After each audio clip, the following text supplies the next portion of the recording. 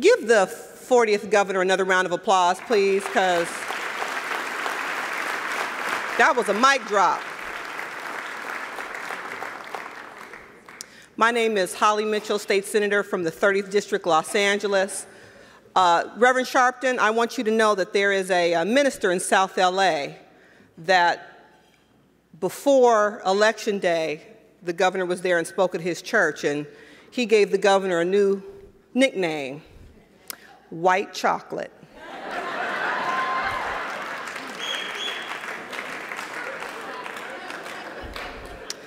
Governor, um, we are proud to serve with you. Uh, the budget you released, the comments you just made let us know that you intend to be a powerful um, partner in making sure that every African American man, woman, and child in California, as Dr. Weber said in her opening remarks, will be seen. And we thank you for that. And it doesn't hurt that you have a little swagger yourself, so it's going to be good. Doesn't hurt. When you say a person needs no introduction, what does that really mean? Think about that. I did. And I think it means that we all have our own experience or perspective of that person, right? Reverend Al Sharpton, The Facts, founder and president of the National Action Network. Reverend Sharpton heads an organization that fights for progressive, people-based policies by providing extensive voter education and registration campaigns, economic support for small community businesses, and confronting corporate racism. NAN is a nonprofit civil rights organization that was formed in 1991 and has over 100 chapters nationwide. Fact. Reverend Sharpton's biography, Go Tell Pharaoh, Go and Tell Pharaoh, he describes his childhood in Brooklyn by being raised by his single mother. It talks about his adolescent years growing up in Washington Temple Church, where he was licensed and ordained by Bishop Washington at the age of nine. At age 12, Sharpton became interested in politics, mesmerized by Congressman Reverend Adam Clayton Powell. Keep the faith, baby. Adam Clayton Powell. And he founded the National Youth Movement in 1971.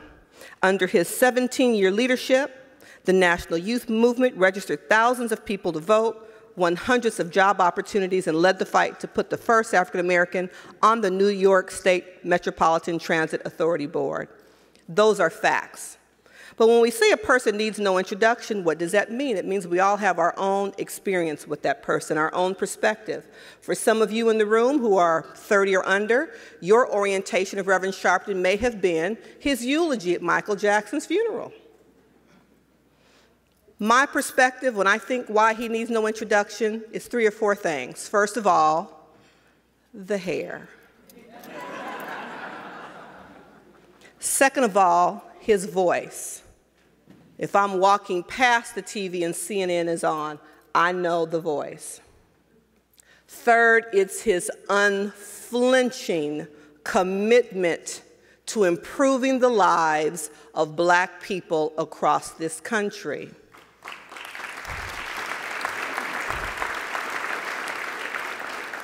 And third, for me, are his quotes. My first in person presidential debate was on the USC campus when he was running for president. When there was a lot of conversation and talk about Prop 8, and a number of the presidential candidates were talking about gay rights. And without a moment's thought, Reverend Sharpton said, I think as presidential candidates, we shouldn't be talking about who people go to bed with at night, but when they wake up that morning, if they have a job to go to, or a roof over their head, or feed, food to feed their children, in one line, he had changed the whole dynamic of the rhetoric of a presidential debate. I'll close with this the fourth, I've lost track, or fifth point in terms of why he needs no introduction in my frame of reference. And it was a comment that he made to a sitting president, and I quote Mr. President, the reason we are fighting so hard, the reason we took Florida so seriously, is our right to vote isn't gained because of our age. Our right to vote was soaked in the blood of martyrs, soaked in the blood of Goodman, Chaney, and Schwerner, soaked in the blood of four little girls in Birmingham. The vote is sacred to us, Mr. President. This vote can't be bargained away.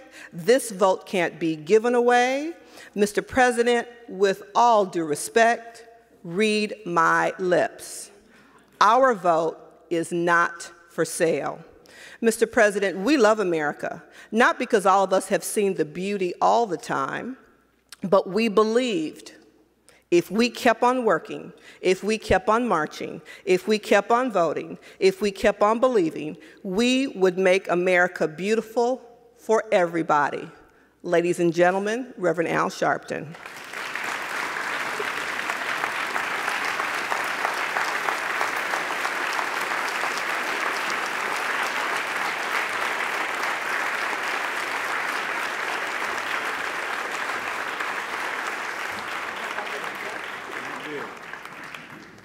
Thank you. Thank you very much.